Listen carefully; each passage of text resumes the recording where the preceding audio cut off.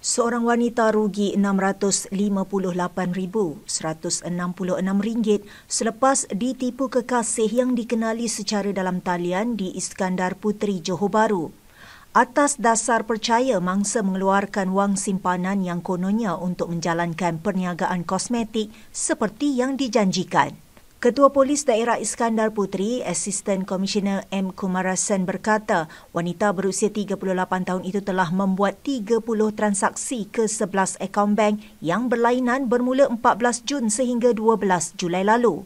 Beliau memaklumkan mangsa mula berasa tertipu selepas membuat panggilan video dan mendapati wajah kekasih yang dikenali tidak sama seperti yang dipaparkan di profil aplikasi WhatsApp. Menyedari perkara itu, dia kemudian membuat laporan polis semalam. Katanya kes disiasat mengikut Seksyen 420 Kanun Kesiksaan.